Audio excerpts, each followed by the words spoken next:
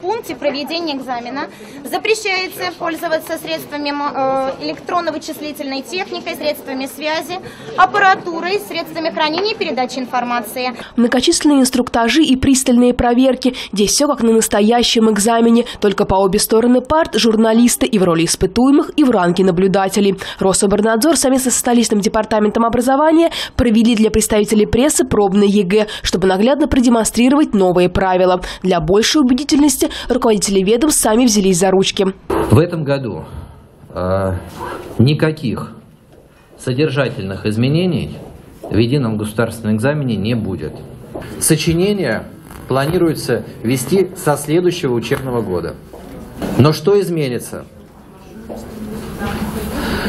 Мы повышаем информационную безопасность.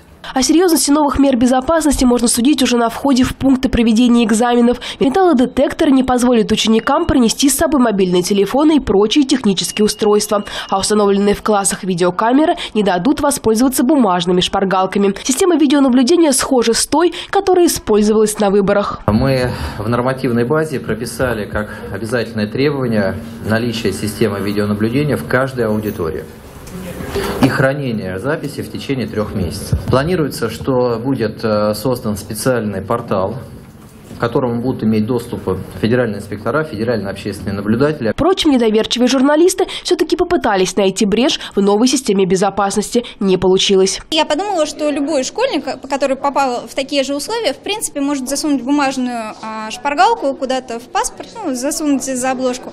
И решила проверить, можно ли, на, в принципе, такой возможностью воспользоваться. Оказалось, что нельзя. Ко мне тут же общественный наблюдатель подошел, подхватил, вывел, заполнил бланк и аннулировал мой вариант ответов. Целью оптимизации проведения единого госэкзамена в этом году будет увеличено число общественных наблюдателей и сокращено количество пунктов проведения ЕГЭ. Мы сейчас в прошлом году начали уменьшать количество пунктов приемов.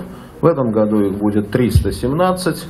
Это почти в два раза меньше, чем было там, в 2011 году. В каждой аудитории, кроме учителя школы, которых мы привлекаем в качестве организаторов, будет обязательно в паре с ним преподаватель Московского вуза. В Рособорнадзоре обещают ликвидировать и утечки экзаменационных материалов в соцсети. Мы договорились с социальными сетями, что в случае, а, если какая-то информация будет появляться в социальной сети, нас социальные сети информируют об этом, и мы принимаем соответствующее решение. Повышению объективности будет способствовать перекрестная проверка результатов ЕГЭ, то есть работа московских школьников будут проверять преподаватели из других регионов. Татьяна Леонова, Чистяков, Дмитрий Виноградов, СТВ Москва.